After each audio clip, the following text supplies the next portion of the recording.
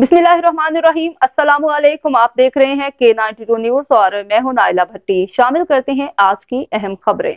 Police मुकाबले समेत straight crime की मुताद वारदातों में मुलविस मुलजिम नाजायज असलाह समेत गिरफ़्तार मुलजिम वसीम उर्फ़ फसूरी को खुफिया इतला पर मच्छर कलोनी से गिरफ़्तार किया गया।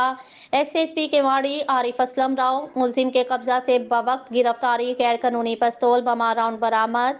मुलजिम मोरखा आठ जनवरी दो हज़ार चौबीस को मच्छर कलोनी में पुलिस पार्टी पर फायरिंग करके फरार हुआ था।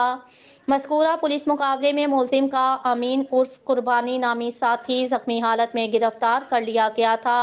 मुलजिम इससे कबल भी ग्यारह मुख्तलिफ़ मुकदमात में गिरफ़्तार होकर जेल जा चुका है।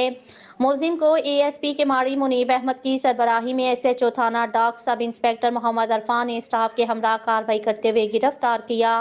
मुलिम के खिलाफ सिंध आर्म्स एक्ट के तहत मुकदमा दर्ज करके मजीद तफ्तीश की जा रही है।